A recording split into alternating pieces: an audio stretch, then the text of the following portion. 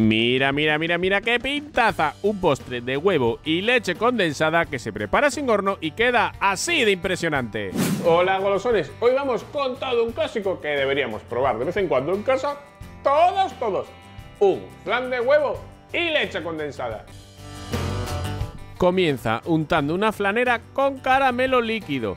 En mi caso tiene 18 centímetros de diámetro, una flanera estándar. Oye, ¿qué quieres ahorrarte el caramelo líquido? Pues puedes forrarla con papel de horno o utilizar una flanera de silicona. Otra opción es hacer tu propio caramelo calentando 150 gramos de azúcar y 2 cucharadas de agua en una sartén a fuego medio hasta que se forme. Por otra parte necesitarás tu jarra de batidora o licuadora. Y en ella, como ves, estoy colocando huevos, concretamente 5 huevos directos a la jarra. Una vez que los tienes dentro, le sumas el segundo ingrediente, que es la leche condensada. Yo lo hago directamente de la lata, una lata de las pequeñas, que son entre 370 y 400 gramos. Si lo quieres medir en tazas, unas dos tazas. Y no mancho más recipiente, uso la misma lata para medir la leche. Así que dos latas de leche, que son, oye, pues lo mismo que la leche condensada de antes. Calcular 800 mililitros o cuatro tazas. Así que relleno por dos veces la lata, como te decía. Y ya lo tengo todo hecho, sin medir ni nada. ¡Qué maravilla! ¡Qué fácil! Si es que esto no puede ser más fácil y a la vez más rico. Una vez que lo tienes en la jarra, como es una jarra de batidora, lo que hacemos es, lógicamente, batirlo bien. No hace falta darle una caña tremenda, puedes hacerlo a potencia baja o incluso un poco más. Pero la cuestión es que se mezcle rápidamente y ya está. No queremos demasiadas burbujas. Un poco de caña y listo. Solo nos queda volcar la crema en la flanera caramelizada en mi caso. Como ves lo hago suavemente y siempre colocando un utensilio entre el chorro y el fondo. Así no se me mueve el caramelo del fondo y me queda uniforme y va a desmoldar perfecto. Un truco sencillo junto a hacerlo así, despacito, que el líquido caiga despacio. Si lo tiramos de golpe, nos generará burbujas grandes y hará que cuaje un poco peor y queden demasiados agujeritos por adentro. Así que ese truco, fundamental.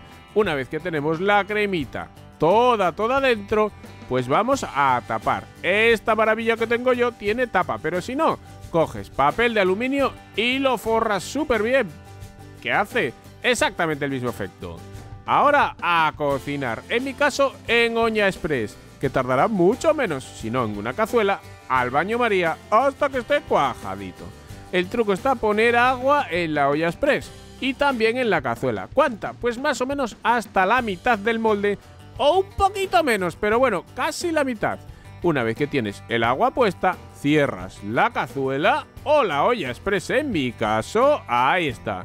Y a cocinar se ha dicho que aquí dentro tarda muy poquito. Lo pones a fuego máximo y esperas a que la válvula sube. Esta que en este caso tenemos aquí que nos avisa de la presión. Pasados unos minutos notarás cómo va saliendo la presión, veis el aire que está saliendo ahí y entonces bajamos a fuego bajito, bajito un poco menos de medio y lo vamos a dejar aquí dentro durante 10 minutitos. Después puedes apartar del fuego y dejar tranquilamente que vaya enfriando despacito. Una vez que ya se fue la presión, incluso que el agua esté tibia, que esté ya enfriado lo puedes apartar de aquí y llevar a la nevera o refrigerador un mínimo de dos horas. Pero yo te recomiendo que lo hagas siempre de un día para otro. Es cuando queda más perfecto, al menos para mi gusto. Bueno, aquí me saco yo el flag y me toca un poco vacilar porque esto siempre queda bien.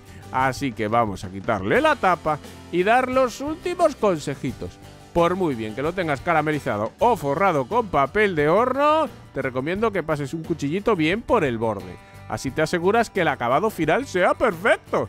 Coloca un plato amplio de encima y a darle la vuelta. Aquí tendrás tu pedazo de flan de huevo y leche condensada listo para disfrutar. Mira, mira, mira, mira, mira, mira, seguro que queda bonito.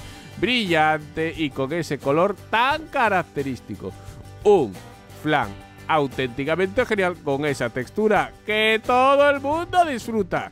Espero que te haya gustado y que veas ahora como yo lo mejor que en las personas y en los postres es lo mismo, el interior y este interior nunca defrauda. Mira, mira, mira, mira, mira, mira, qué cuajadito, qué blandito, qué rico, un super postre que espero un día te atrevas a preparar. Mira qué cremosito, cremosito.